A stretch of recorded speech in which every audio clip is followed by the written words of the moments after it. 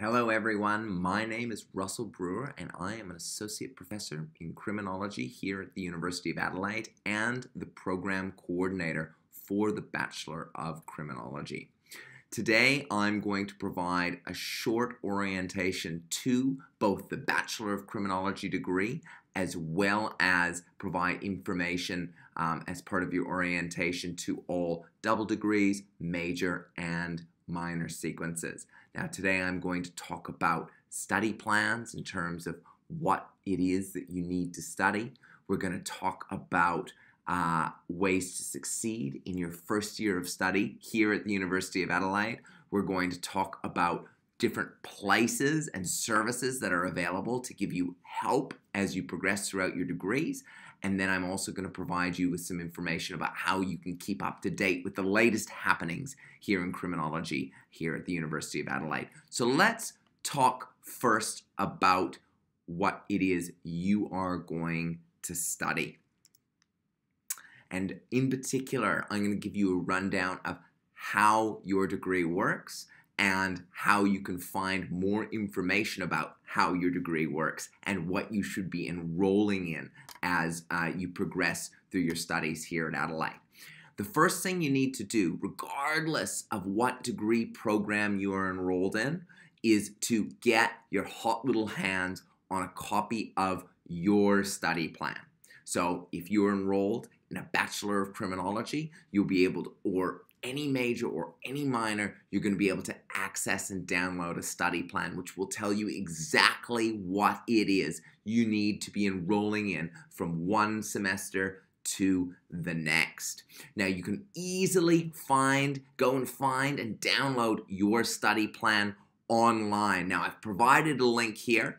If you are, uh, you can see it up on the slide on the screen. Uh, if you're in the Bachelor of Criminology, you can type that particular address into your uh, URL bar in your web browser, or if you're in a major or minor sequence, you can do the same with that second dot point link. Or if we want to make it a little bit easier, let me just shoot over here to the Google machine, and I'll make this a little bit bigger just so you can see this.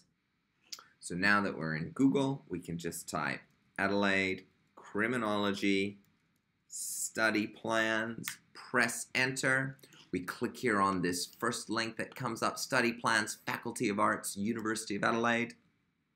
That will take us to the faculty's study plan landing page. If we scroll down, we can find our degree. We are undergraduate students and we are enrolled, uh, in this case, in the Bachelor of Criminology. And here we can find links to PDFs of each of the different permutations of the Bachelor of Criminology degree, be it the Bachelor of Criminology standalone or a major in psychology, a BCrim with a major in psychology, with a minor in psychology, a major in sociology, a minor in forensic medicine, a Bachelor of Criminology with a minor in gender studies, politics, public health, sociology, or combined degrees, the Bachelor of Criminology with the Bachelor of Laws, or the Bachelor of Criminology with the Bachelor of Laws honors. So just for the sake of uh, this demonstration, let's just click on the standalone degree. And what this will do is open up a PDF, which you can and you should download and print off, where this um, is a very self-explanatory document. It will tell us what, here's a legend with the different colors. We've got um, units and electives in terms of what your rule requires you to take. So uh, you must complete a total of 72 units of courses with at least 12 units uh, and no more than 24 units of level 1 courses and at least 24 units of level 3 courses. You have your core courses that are articulated here in a dark gray, your criminology component of your degree, so you must complete 45 units of criminology courses, which includes 15 units of criminology closed elective courses. I'll talk about that in a second. And then you've got electives here in blue. You must complete a total of 24 units of elective courses with at least 9 units of broadening electives, that is, courses from any discipline other than Crim, Geog, and Soci. I'll talk about that in a minute as well. So if we scroll down, here's links to further information, we scroll down here, we can see what the actual study plan looks like in terms of what you need to complete at each year of study.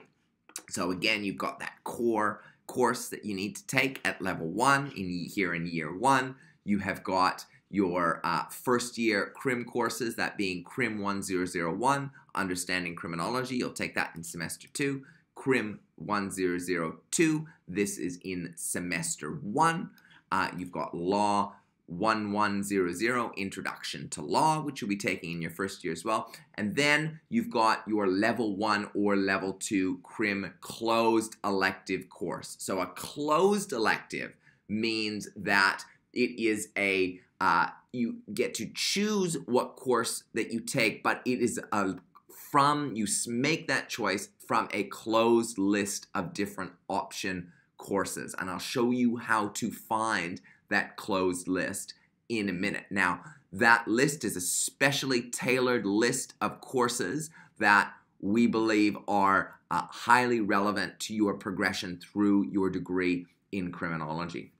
Then you've also got three other courses that you take um, that are uh, of your choice. So these are not courses that these are courses that either can appear on that closed elective list or can be taken from anywhere else in the university. So by taking all of these courses listed here uh, under year one, you will fulfill your year one requirements for the Bachelor of Criminology. And then as you move into second year, you'll do the exact same thing. You'll enroll in Crim 2001, Geog 2129, Soci 2012. You will select two different level two criminology closed elective courses, as well as three separate elective courses at year two.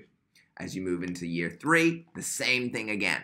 Crim 3002, Criminological Research, Crim 3004, Quant Research Methods, Soci 3014, Qualitative Research Methods, Crim uh, level three criminology closed elective course, and then a second level three criminology criminology closed elective course, and then two electives at level three, and that comprises your entire bachelor of criminology.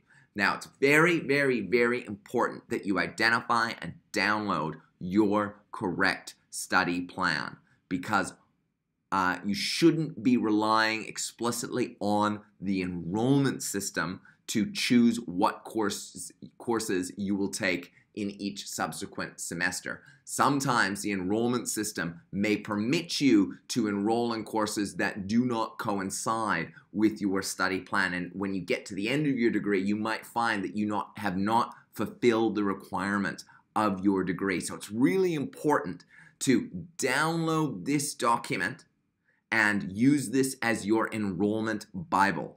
As you go through and select the courses that you're going to take for each coming semester, you need to make sure that you tick off all of the core courses. You need to tick off all of the closed elective courses and you need to tick off each and every elective that you've taken and to ensure that you, um, by the time you reach the end of year three, down here at the bottom, that you have completed all of the courses required to fulfill this particular degree. Now, we talked a little bit about closed electives. If I just go back to this main page here, what I can do is I can scroll down to the bottom and I see here closed a closed elective tab. I can click on that, head down to criminology, and you will find a list of the different closed electives that are available from semester to semester, from year to year. Now you need to make sure that you go back to this page and check this page every year as the closed electives that are available are available from one year to the next will certainly change throughout your degree. So keep an eye out for courses um, that you might be interested in and take those when they become available. You can see, for example, on this particular page, the list of closed electives that are offered right now this year. Uh, and as you scroll down to the bottom, you can actually see a list of other courses that are not currently being offered but may be offered in subsequent years. So you can get a sense, a taste of what might be uh, to come as you progress throughout your degree. So keep an eye on this page. Let's shoot back now and let's just talk briefly about majors and minors. You might be doing a Bachelor of, for example, Psychological uh, Science with a major in criminology. Again, you are going to have a study plan for your Bachelor of Psychological Science, but also for the major sequence in criminology. So we can find that again on this exact same page. Instead of clicking on criminology up here, we just go down to majors and minors, and then we head over to criminology, and we can see again, we've got a study plan that outlines what your rules are. So if you're doing a major, that would be to complete 24 units of courses, including six units at level one, nine units at level two, nine units, including the capstone course at level three, or a minor, 18 units, including six units at level one, six units at level two, or six units at level three with no cap and six units up at level three with no capstone being required. And you can see here exactly what it is you will be required to take at level two, or sorry, level one here at level two here and then here at level three. And again, this page tells us precisely uh, what the course code is, what the name of the course is, what semester it's going to be running, and on the right-hand side here, what that course is worth. So if you are every student should make sure that they have downloaded and understand their study plans for their uh, the degree in which they're enrolled in and any major or minor sequence that uh, they might decide to take on. So let's bring me back and press on. So now I want to move away from talking about study plans and what you'll be taking to discussing how you can really succeed in your first year. I've got a couple of hot tips that I'd like to share with you as I've been teaching first year actually for a while and I've seen a few trends that are consistent with doing really, really well in your first year of study. The first thing I would say is, insofar as is possible, be present. You should attend any lectures, workshops, or uh, seminars or tutorials uh, that are made available to you. Be there is no substitute for attending and participating.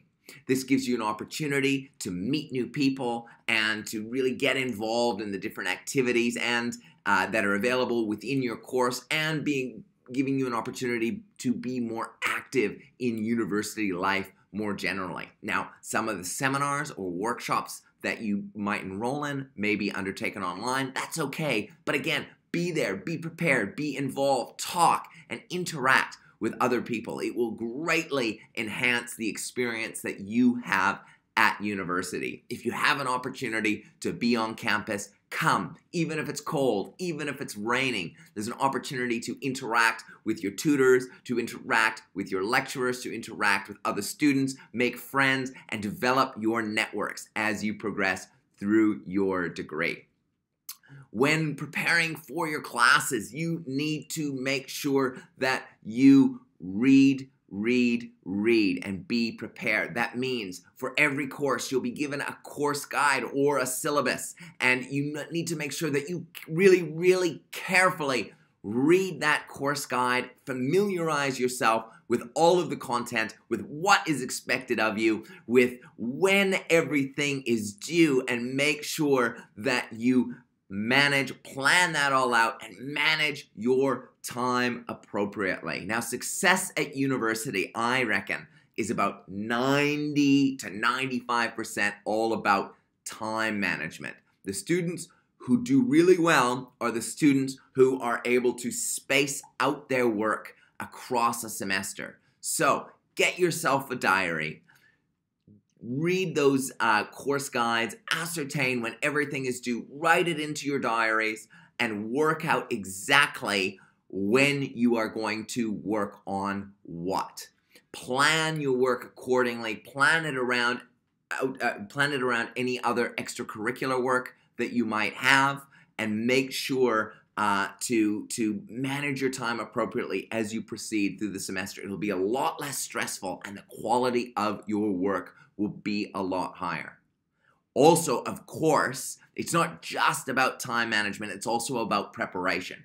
When you for each of your classes, for each of your tutorials, you're going to be assigned a set of readings. Now, usually those readings are not too onerous. So you want to make sure that you want to have read and synthesized all of that material prior to coming to each one of your tutorials. You want to be able to take advantage of those tutorials. You don't, and you want to be able to contribute and you want to be able to learn from those tutorials. It's not very helpful if you come to those seminars or tutorials um, just as a blank canvas, try, canvas trying to soak up information, having not done the readings or prepared or or uh, revised for that particular uh, week's worth of work. So just make sure you come to class prepared and ready to participate. You're going to get a lot more out of your class, and you're going to learn a lot more uh, from the class, and it's actually going to help feed in to your assignments and better prepare you to do really well across your first year.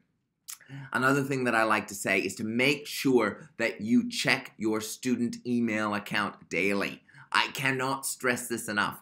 When the university, when a lecturer, when your tutor wants to reach out to you, they will do so via email. And you want to make sure that you catch those urgent messages as they come in and be prepared to respond to them. Of course, when writing any email, you want to be polite and courteous and you want to be really, really clear. Make sure to sign off on your name and also provide us with your student numbers. Remember, sometimes our classes have five, 600 students in them. So you want to make it as easy as you can when you're corresponding with your lecturer or your tutor to make sure that they know who you are and exactly what it is that you are asking. And of course, of course, if you have questions about anything, to do with your course or anything to do with your course structure or what you should be doing, you should absolutely feel free to reach out and ask us any questions. Your lecturers, your tutors, all of us. Uh, faculty, staff. I'll, I'll talk about that in a little bit. In a little bit. But remember, we are here for you. We are paid to be here and help you. So please don't hesitate to reach out. You are not an imposition if you have any questions. We are here to help and we want to see you succeed. All right, so let's let's talk a little bit more about getting help at university. There are a lot of different of different services and resources available to students in their first years and as they progress uh, throughout to their degree in terms of adjusting to university life. There's a helpful helpful page um, that I've linked in my slide above um, provides some handy links to uh, various resources available across the university. Um, I've actually just pulled a few of the really relevant ones out because I want to speak to them explicitly. Firstly, security. You never know when you might need access to um, security or you might need help whilst on campus. So I would encourage absolutely everybody watching this video to stop, pause the video, and insert this phone number into your telephone 8313 5990. Security is incredibly responsive and they are here to help you. You never know, having this number in your phone may save your life. So put the number in your phone. I have, in fact, used the number uh, on occasion on campus, typically when I accidentally lock myself out of my office. But having that number handy could be very helpful and very timely. Uh, Student Life is also a free and confidential counseling service that is available to all students across the university. So if you are struggling with anything to do with your university life uh, in terms of the work that you need to do, or uh, you might have some some personal issues that you would like to discuss with someone. Please, please, please take advantage of the student life counseling support services. If you have a disability, you should also reach out to Student Life Disability Support, who uh, are entrusted with helping manage disabilities or medical conditions for students. So I would encourage you to uh, give that a Google and make an appointment to see one of the disability support advisors as soon as is possible. This is a great thing to do as you are starting out at uni to see how the university can support you in your study. If you have any troubles writing or want to get some um, some additional help in that area, we have a fabulous writing center which provides academic learning and language support to students as well as a raft of other resources. So please, please, please, uh, if you're looking to improve your writing skills, um, have a look at the uh, Writing Center and the uh, support that they offer. Uni Thrive is also a group which explores ideas and helps with resilience, well-being, overcoming problems, and boosting performance. And then, and importantly, if you have any questions about your enrollment, your in terms of what you need to be enrolling in next. If you're having problems with the enrollment system, you can reach out to the our fabulous colleagues at the Faculty of Arts um, office. They can deal with any problems relating to enrollments, your study plan. They can even help you map out your own study plan if you're unsure of what to enroll in next. If you want to contact the Faculty of Arts office, you can easily do that. Uh, you can just drop in. It's the bottom floor of the Napier buildings on Mondays, Wednesdays, and Thursdays from 9 to 5 uh, p.m. or Tuesdays from 11 to 5 or Friday from 9 to 4. You can also send easily to send an email, arts at adelaide.edu.au. You can give them a ring at 8313 5245 or you can even reach out on Facebook at the Uni University of Adelaide Faculty of Arts Student Group. Um, on Facebook, there are also a number of ways that you can uh, keep up to date with what is happening at Adelaide Crim. First, I would encourage all of you to join the Adelaide Criminology Student Association. This is a fantastic group for students who organize various events, provide various resources for uh, students, and provide particularly opportunities to network. So you can actually just look for the Adelaide Criminology Student Association on Facebook. Um, you can you can also uh, in fact find them on Twitter as well, where you'll find a link uh, to sign up, join membership. Uh, uh, and join the association. Membership is free, so please do do this. This is a service that we have created for you to enhance your experience, and we think that you'll get a lot out of it. Also, Adelaide Crim is on Twitter, so you can find out updates about our teaching program, the research undertaken by various academics around. Um, our department, as well as get updates on uh, various events that are happening on campus or via the uh, Criminology Student Association. So head over to Twitter, www.twitter.com slash Adelaide Crim, or if you're already on Twitter, just find our username Adelaide Crim, give us a follow, and you'll be able to keep up to date. So that is a very brief introduction to criminology here at the University of Adelaide. We wish you the best in your first year of study. And again, don't be a stranger. Get involved. If you have any questions, reach out. Remember, we're always here to help. Great. Well, take care. See ya.